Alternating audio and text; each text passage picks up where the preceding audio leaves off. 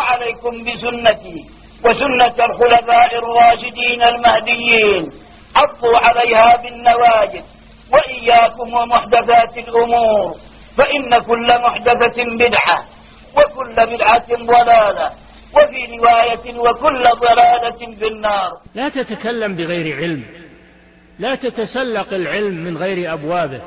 لا تأخذ العلم من غير أهله. لا تكتفي بالكتب طالعها. تزعم أنك صرت عالم تحفظ ولا تفقه. ما يكفي الحفظ لازم من الفقه والمعرفة. فهذه طريقة ضالة وهي طريقة أهل الزيغ. نسأل الله العافية. فعلى شبابنا وفقهم الله عليهم أن يهتموا بهذا الأمر وأن يجلسوا إلى أهل العلم ويستمعوا منهم ويأخذوا العلم عن أهله لا يأخذونه من أفهامهم ومن كتبهم ومن أشباههم من الذين لا يعلمون. لو هدانا الله لهديناكم. سيقولون هذا يوم القيامة. لو هدانا الله لهديناكم. فيا إخوان تنبهوا لهذا. تنبهوا لهذا. وفقنا الله وإياكم. لصالح القول والعمل Und Allah subhanahu wa ta'ala sagt auch über die Gläubigen, ja, وَيَزِيدُ اللَّهُ الَّذِينَ اهْتَدَوْا هُدَى Allah subhanahu wa ta'ala mehrt den, den Leuten der Rechtleitung Recht, an Rechtleitung.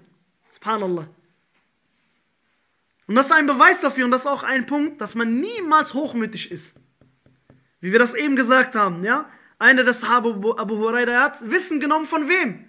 Vom Shaitan, Iblis, la'anallah, sadaqaka wa huwa kadhub. Ja? Und der Prophet hat das bestätigt, gesagt, er hat die Wahrheit gesagt, obwohl er ein Lügner ist.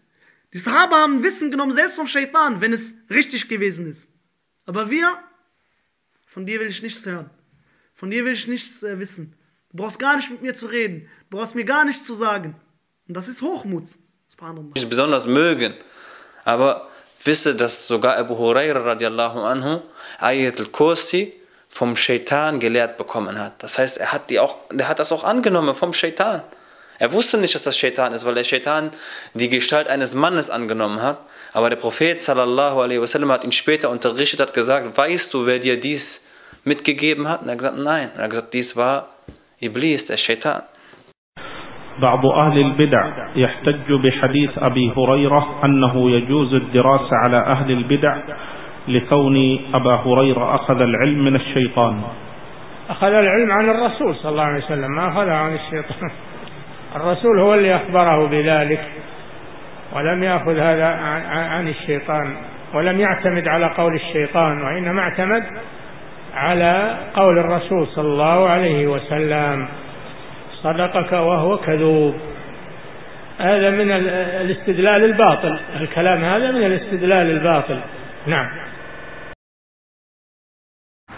أن أبو هريرة فهل عمل بما قال له الشيطان أن عرضه على النبي صلى الله عليه وعلى آله وسلم حتى أقره النبي صلى الله عليه وعلى آله وسلم وقال لقد صدقك وهو كذوب. الكذوب يؤخذ عنه. ما أدري يا إخواننا أين سلبت عقول؟ أولئك الملبسين. يلقوا بها طلبة العلم. الكذاب يؤخذ عنه أم لا لا يؤخذ عنه. فكذلك الشيطان لا يؤخذ عنه. لكن أضر النبي صلى الله عليه وعلى آله وسلم ما قال الشيطان فنحن نأخذ بإقرار النبي صلى الله عليه وعلى آله وسلم. آية الكرسي. قال فيها إبليس لعنه الله لأبي هريرة بعد الثلاث الليالي. دعني وأعلمك أعظم آية في كتاب الله. فتركه أبو هريرة رضي الله عنه حرصا منه على العلم ونهمة في العلم يريد الفائدة. فقال له الله لا إله إلا هو الحي القيوم. ذكر له قرأ آية الكرسي. وأنها عصمة من الشيطان. فلما أصبح غدا إلى النبي صلى الله عليه وسلم قال ما فعل أسيرك البارحة يا أبا هريرة؟ فقص عليه القصة. فقال أتدري من ذاك يا أبا هريرة؟ قال قلت الله ورسوله أعمل أعلم. قال ذاك شيطان صاحبه الثلاث الليالي كلها شيطان. لكن قال له صدقك وهو كذوب. فالنبي صلى الله عليه وسلم أخبر بأنه صدق هنا. فنحن أخذنا بقول النبي صلى الله عليه وسلم لا بقول الشيطان. كما يقول اليوم العوام والسفهاء والجهال وأصحاب الهوى. العوام والسفهاء والجهال ولو كانوا دكاترة ومتخرجين من جامعات لكن ما عندهم علم شرعي. وأصحاب الأهواء قال يا أخي خذ الحكمة حتى من الشيطان. الله جل وعلا قال إن الشيطان لكم عدو. فاتخذوه عدوا. إنما يدعو حزبه ليكونوا من أصحاب السعير. ويقول لا تتبعوا خطوات الشيطان إنه لكم عدو مبين. كيف تصدقه؟ نحن هنا ما أخذنا بقول الشيطان أخذنا بقول رسول الرحمن صلوات الله وسلامه عليه. قال صدقك وهو كذوب. فأخبرنا بأنه كذاب لكن هنا صدق. الآية هي من كتاب الله لكن صدقه على أنه إن قرأها كان له من الله عاصم. ما يقرب شيطان. فالنبي صلى الله عليه وسلم أخبره بأنه هنا صادق لكن هو كذوب.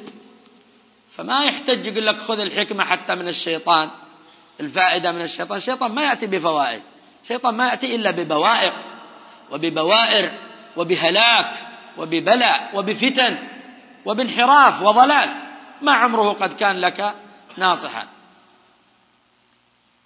فدلاهما بغرور فلما ذاق الشجرة وبدت لهما سوآتهما خاطبهما الله جل وعلا بقوله ألم أنهكما عن تلكما الشجرة؟ وأقل لكما إن الشيطان لكما عدو مبين. قال ربنا ظلمنا أنفسنا الآيات. وقبلها قاسمهما إني لكما من الناصحين. على إيش؟ على الأمر الذي زينه لكم. ما نهاكما ربكما عن هذه الشجرة إلا أن تكونا ملكين أو تكونا من الخالدين. وأقسم لهما وفي الأخير كذاب. ثم وإني جار لكم.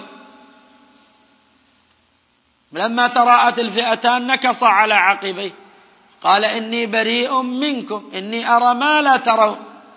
إني أخاف الله رب العالمين. ما شاء الله. جاء الخوف الآن. لما؟ لأنه يرى العذاب أمامه يرى القتل يرى الملائكة تنزلت بأيديها السيوف مصلتة. أقدم حيزوم اضرب. فرجع. وولى. وهكذا. إني بريء منكم. إني أخاف الله رب العالمين مع يهود. تركهم وولى. فما كان الشيطان ساعة ولا لحظة ولا طرفة عين. عنده حكمة ولا فائدة. حتى يقال خذ الفائدة له من الشيطان. أبو هريرة أخذها من الشيطان. كذبت على الله وعلى رسوله صلى الله عليه وسلم وعلى أبي هريرة. فأبو هريرة ما أخذ من الشيطان. أخبره النبي أنه شيطان. هو ما يدري أنه شيطان. يحسبه إنسان لأنه شكى إليه أنه صاحب عيال ومحتاج فقير أليس كذلك؟ ويبغى من هذا التمر من تمر الصدقة. فأخذ منه وهو إنسان ما أخذ منه وهو شيطان يعلم أنه شيطان. فالنبي صلى الله عليه وسلم أخبره بأنه شيطان. فكيف تقول أنه أخذ من الشيطان؟ لكن العوام والجهلة والسفهاء وأصحاب الأهواء أربعة أنواع. هم الذين يرددون مثل هذه العبارة. الجهلة بشرع الله تبارك وتعالى. والعوام اللي لو تتكلم عليه من أول النهار إلى آخره ما يفهم. هذا ما يفهم الحجة. ما ينبغي أن يخاطب بها. لأنه ما يفقه خطاب الشارع. هذا تعطيه الكلام المختصر الذي ينفعه في نفسه. والسفهاء يفعلون هذا ليحتجوا به على الباطل الذي يريدون أن يسوقوه. كما نسمعه الآن في الجرائد ونقرأه في الصحف والمجلات بعض هؤلاء الذين يتخللون تخلل الباقرة بلسانها ويأتون بالبواطيل من الكفار ويقول لك خذ الحكمة. فأبو هريرة أخذ الحكمة من الشيطان. ما شاء الله. من متى كان الشيطان حكيم؟ ناصح بأمة بذرية آدم صلى الله عليه الصلاة والسلام. إن هذا عدو لك ولزوجك. إن الشيطان لكم عدو فاتخذوه عدوا. إنما يدعو حزبه ليكونوا من أصحاب السعير. هذا هذا هذا هذه وظيفة الشيطان.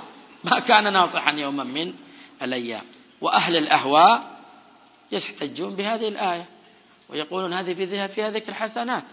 فالنبي صلى الله عليه وسلم أمر أبو هريرة أن يأخذ حتى من الشيطان. مع أن الشيطان عنده شر كثير لكن لما جاءت الحكمة عنده أخذها. أبو هريرة أخذها من الشيطان؟ ولا أخذها بإقرار الوحي وإخبار النبي صلى الله عليه وسلم؟ أخذها من إخبار النبي صلى الله عليه وسلم. ولكن هؤلاء يصدون الناس عن ذكر الله ويصدونهم عن سبيل الحق والهدى فنحن نسأل الله العافية والسلام. Wenn ihr seht, dass diese Person sich freut über jede Meinung, selbst die Meinung von Iblis, dem Kopf von den Satanen, er möchte hören. Damals habe ich gesagt, wenn ich mal erfahren würde, dass Iblis ein Buch veröffentlicht hat, bei Spiegel Verlag oder irgendwo, ich würde das kaufen. Ich möchte wissen, was der Shaitan schreibt. Dass wir dieses Niveau erreichen. Alles lesen. Ja, alles lesen. Na,